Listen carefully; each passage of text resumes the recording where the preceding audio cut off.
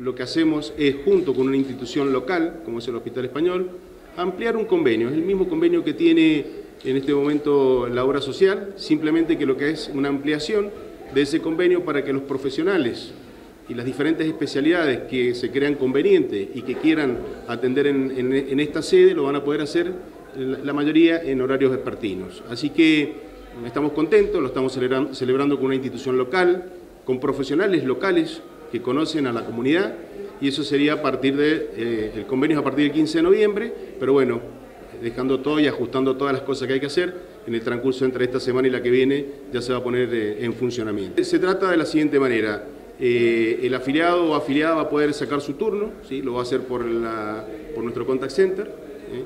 La, gran mayoría de los turnos va a ser por agenda, se van a, se van a dar los turnos y dependiendo de las especialidades que, que, comience, que comience a, brindar la institución y este, van a venir a atenderse sin ningún costo, esa es la diferencia, o sea, no va a pagar ningún coseguro el afiliado o la afiliada, cosa que sí lo hace a veces en las instituciones privadas. Ese es el convenio que tenemos. Es sin ningún costo porque lo estamos ofreciendo dentro de nuestra institución. Las especialidades son las que tiene hoy el Hospital Español y que seguramente se van a ir ampliando y se van a ir poniendo en funcionamiento en la medida que se organice el hospital con, su, con sus profesionales. Los turnos, bueno, eso es lo, lo vamos a ir viendo en la medida de la cantidad de profesionales que se vayan ofreciendo para venir a trabajar, porque este es un convenio marco, es un convenio entre la obra social y el hospital.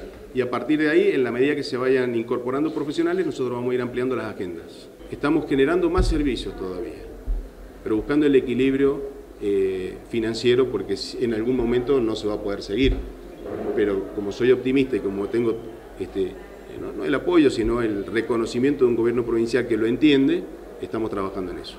Cuando un afiliado o una afiliada va a un lugar que, que hay un cartel de OSEP en la puerta, no paga coseguro. Ya sea una sede, una subsede, el Hospital del Carmen, el Fleming, el Centro Odontológico.